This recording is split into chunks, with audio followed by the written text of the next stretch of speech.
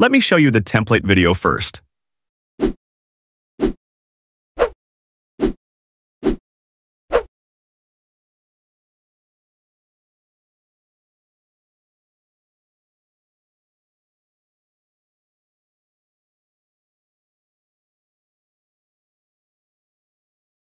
These premium templates takes me hours to make. So, it would be great if you could like this video and subscribe to the channel for more such premium templates. Here is your QR code.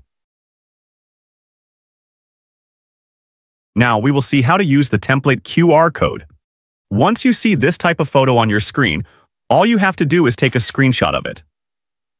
Now open the VN app, click on this scan icon, then click Media, and upload the screenshot you just took. It will automatically scan the QR code. If the VN app says QR code is invalid, all you have to do is open the video in highest resolution, that is 1080p, then take the screenshot. Now crop the QR code this much so that the QR becomes big. I am damn sure now it will easily scan it. Here, click on Use if you do not see the Use button here, instead you are getting the Download button. Simply click on it.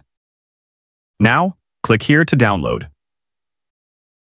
You will now see the Use Template option. Now, upload all your photos or videos you want to use for this template. Click Next. You can even replace, add filter, or crop your photo or video. For some templates, you will see the option of editing the text as well, so please do it if you want.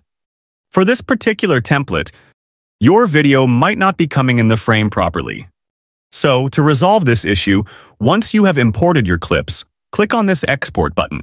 Then, click Edit. Stretch the timeline. Now to bring any video in the frame, simply click on it. Now you will be able to adjust it. Now you can export the video. I hope now your problem must have been resolved.